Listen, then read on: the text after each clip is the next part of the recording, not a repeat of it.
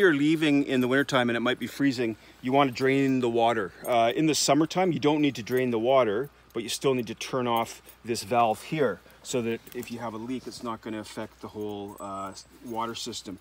So right now I'm going to show you, I've got it set up for the wintertime. So I'm going to pop it and you'll see water is going to start popping out because that's how it drains, right? So, oh, all over my Crocs. so, uh, uh, so again, I'll show you. So when you turn, turn, this is turned off when it's like that, and the water's coming out because it's draining from the pipes that are above. So when you're leaving, you're gonna pop that, and then all the water drains out. And I'm gonna show you that you also open a whole pile of uh, taps up there to allow the water to drain out so that it's not like stuck in the cabin and, and cracking and freezing. Uh, when you're coming and you're turning it on, uh, you do the opposite. So it was off. I'm not gonna have it off right now because the water's draining out. So then on. It's on right now. That's what it looks like when it's on.